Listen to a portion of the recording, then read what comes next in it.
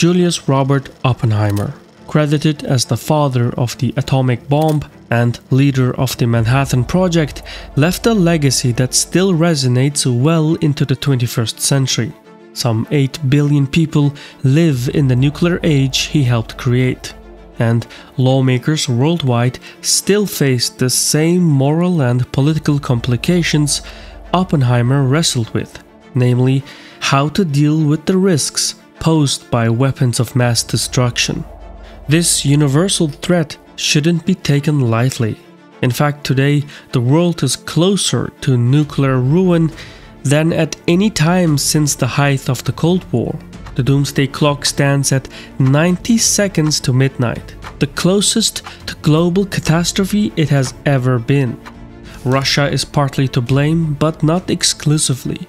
China is drastically expanding its nuclear forces, North Korea is on a missile testing spree, nuclear armed Pakistan is collapsing internally, India is continuing its nuclear buildup, and Iran is right at the edge of nuclear weapons capacity. Still more, potentially destabilizing new technologies such as AI have raised the risks to chilling new heights. Never before has the nuclear horizon been this dark.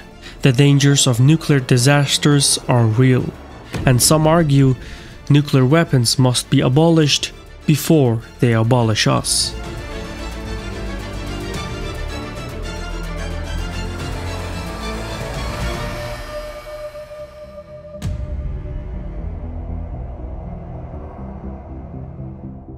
When I first started making geopolitical videos on YouTube, it was just something for fun, something to help hone my skills while I was studying journalism.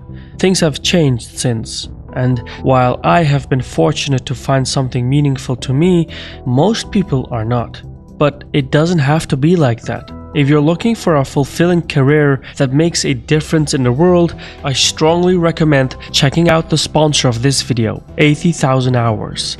What they offer is absolutely free. 80,000 Hours is a non-profit that provides free advice to help people find fulfilling careers and tackle the world's most important and pressing problems. 80,000 hours is the typical amount of time someone spends working over a lifetime 40 hours per week, 50 weeks per year, for 40 years. That is a lot of time, and so your career is a major driver of your happiness, but also a major opportunity to impact the world positively. The nonprofit has conducted over 10 years of research alongside academics from Oxford University into how to find a fulfilling career that does a lot of good. Three things I like about all this. It's based on verifiable research, it looks to make a positive impact globally, and it's totally free. Go to 80000hours.org slash Caspian and get a free copy of their in-depth career guide. Next, make a plan based on everything you've learned and put it into action. You've got nothing to lose by signing up, it's free. The nonprofit is funded by individual donors and philanthropic foundations without corporate sponsorship or advertising fees. So make use of that. Nuclear weaponry has come a long way since the first atomic bomb detonation in 1945. Much of it has been for the worse. The payloads have gotten bigger and deadlier. The maintenance budget has inflated, the infrastructure has decayed, and policymaking has become more reckless. According to the Pentagon, roughly half of America's nuclear infrastructure is over four decades old. About a quarter, in fact, dates to the Manhattan Project itself. Time and again, nuclear armed powers have dodged disasters by sheer luck. During the Cold War, early warning satellites malfunctioned. Orbital launch vehicles were mistaken for nuclear missile strikes. Military drills were taken for actual mobilization. Technical problems triggered real-time combat readiness, and live nuclear weapons were accidentally transported in flight around the United States. In point of fact, one time an aircraft carrying a hydrogen bomb crashed in North America. Fortunately, the safety mechanism prevented detonation. The point is, the record keeping for nuclear arms is flimsy. The fact that the world has survived for as long as it has without a nuclear catastrophe is partly due to sheer luck. But luck can't last forever. Since the 1940s, nuclear weapons have proliferated and gotten more destructive. Russia claims two of its Sarmat intercontinental ballistic missiles can destroy the entire east coast of the United States. Meanwhile, the American made Ohio class submarine has enough firepower to waste over a dozen Russian cities in a single salvo. The weapons employed today are the most terrifying in world history. Still worse, policymakers are engaged in a de facto arms race. The United States plans to spend up to $1.5 trillion to overhaul its nuclear arsenal by rebuilding each leg of the nuclear triad and its supplementary infrastructure.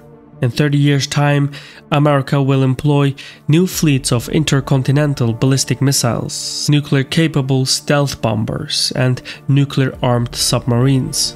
But modernizing the nuclear arsenal has divided American politics into two camps. There are those influenced by Oppenheimer's arms control movement who believe the nuclear triad should be restrained because it is tempting nuclear annihilation. On the other hand, some argue the United States should step up its game and stop blinking at Russian saber rattling. But at a time of growing geopolitical conflict, it is not politically feasible to expect the complete elimination of nuclear weapons. In fact, with the way things are going, more and more nations are looking to join the nuclear club while existing nuclear armed nations are seeking ways to increase their stockpiles. Today, there are roughly 12,500 nuclear warheads, with about 90% of these either owned by Russia or the United States. Nearly 4,000 of these warheads remain operationally deployed, and roughly 2,000 remain on a dangerously high state of readiness, primed to launch in response to an assumed attack in minutes. China, however, is planning to catch up. It has assembled over 400 warheads in just a fraction of the time it took the United States to build an arsenal of that size. Now, Chinese lawmakers look to triple their nuclear forces in the next years. By 2035, China could have 1500 nuclear warheads ready to launch. The world has changed considerably since the Ukraine war. Battle lines are being drawn.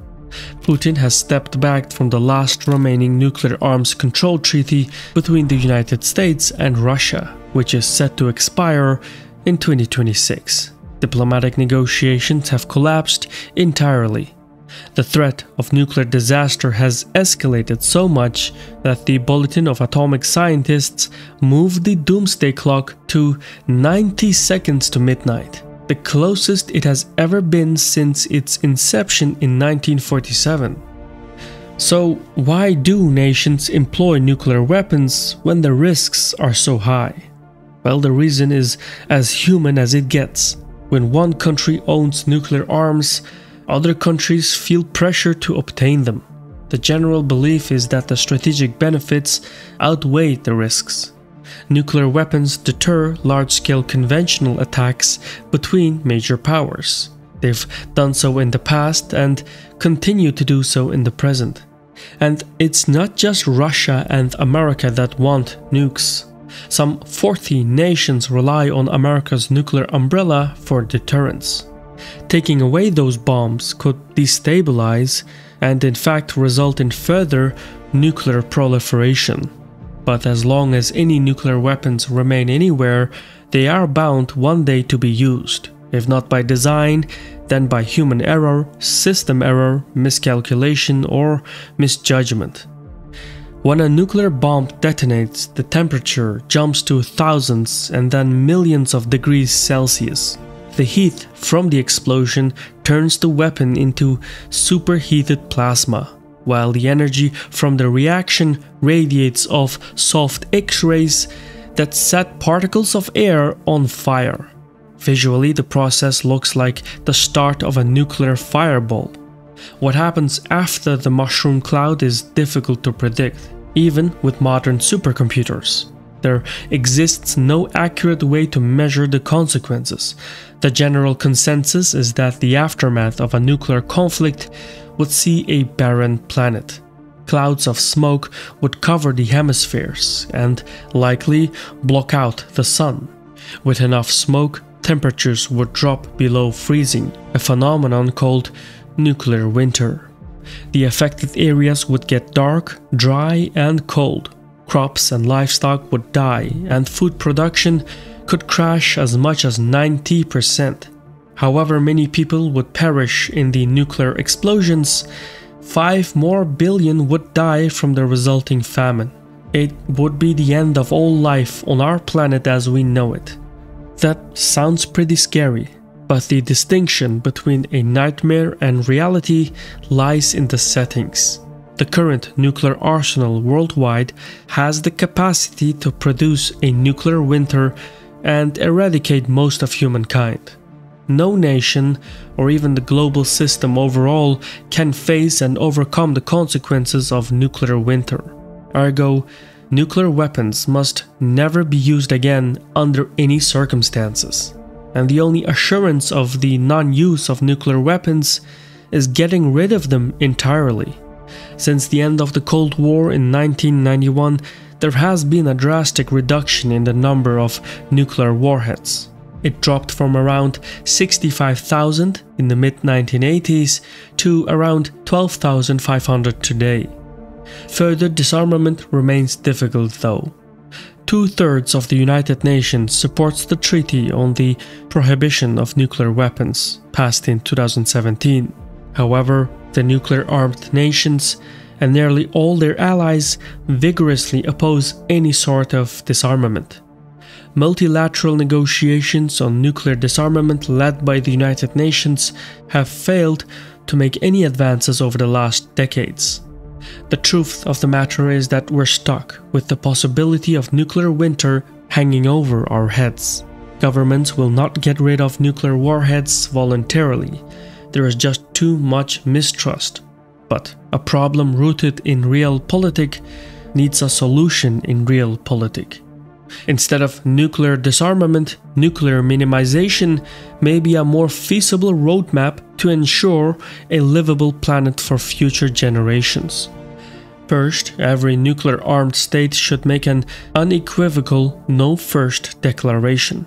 Second, as many weapons as possible should be taken off their current high alert status.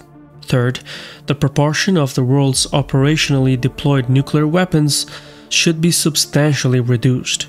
Fourth, the number of nuclear warheads in existence should be cut down from 12,500 to around 2,000, with the United States and Russia reducing to no more than 500 each. This proposed number is not arbitrary. It is actually in line with the minimum recommendation for effective deterrence suggested in a 2010 study by the US Air Force. With 500 warheads each, America and Russia would still have the capacity to destroy one another many times over, but just not enough to spark a nuclear winter and drag the rest of the world down with them. Nuclear minimization is as feasible as it gets. The new film about Oppenheimer's life and legacy offers a chance to revive public debate about nuclear weapons. And it's a conversation that needs to happen urgently, because when it comes to nuclear weapons, neglect breeds peril, and when caution falters, the instruments of death impose their ruthless resolve. I've been your host Shirvan from Caspian Report. If you like what we do, please share, comment, and subscribe. If you want to support our work, consider joining our Patreon platform. The link for it will be in the description. Thank you for watching and Saul.